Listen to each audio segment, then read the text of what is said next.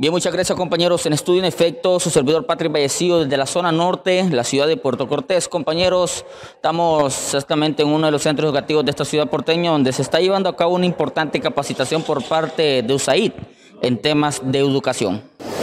Somos parte del proyecto Asegurando la Educación de USAID, ¿verdad? Que trabajamos con centros educativos aquí en el municipio de Puerto Cortés y otros municipios mejorando indicadores de matrícula, acceso y permanencia de los estudiantes en el sistema educativo. Ahorita, ¿verdad? Nos encontramos desarrollando una capacitación de las diversas metodologías de implementación que nosotros tenemos a los pasantes universitarios que forman parte de nuestro programa de pasantía 2022, quienes estarán siendo un brazo muy importante de apoyo en nuestra labor en los centros educativos. Bueno, importante eh, los puntos de esta capacitación que se están dando? Sí, el proyecto Asegurando la Educación trabaja con diferentes metodologías, ¿verdad? Para fomentar eh, permanencia, para disminuir la violencia escolar y también para traer bienestar psicosocial.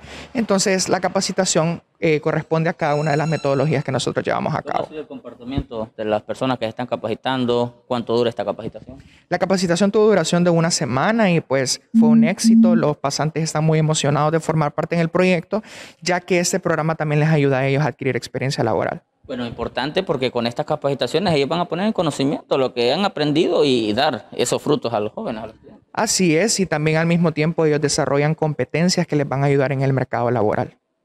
¿Cuántos son las personas capacitadas? Ahorita estamos contando con alrededor de 15 pasantes, ¿verdad? Que han sido distribuidos por medidas de bioseguridad en diferentes días.